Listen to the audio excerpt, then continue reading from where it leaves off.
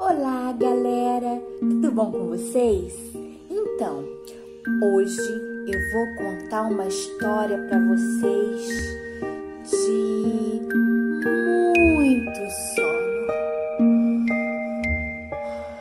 Mas de muito sono.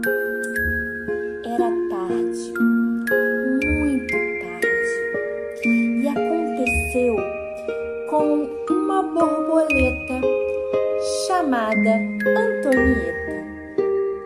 Antonieta, ela estava com muito sono, mas a borboleta Antonieta não queria dormir.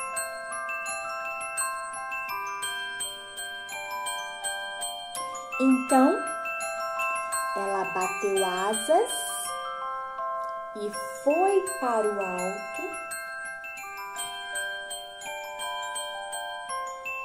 Depois, ela bateu asas e foi para baixo, voou para baixo.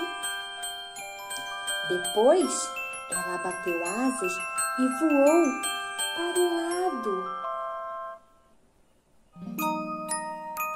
Depois, ela voou para o outro lado. Depois, ela fez um círculo e pousou no galho de uma árvore.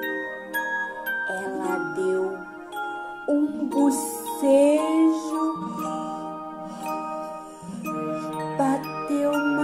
um pouco as suas asas, deu outro bocejo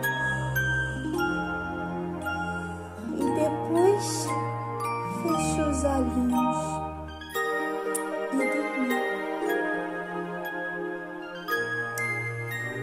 Deu sono, deu? E em mim também deu. Essa história é de Carol Levi, a borboleta Antonieta. Até a próxima!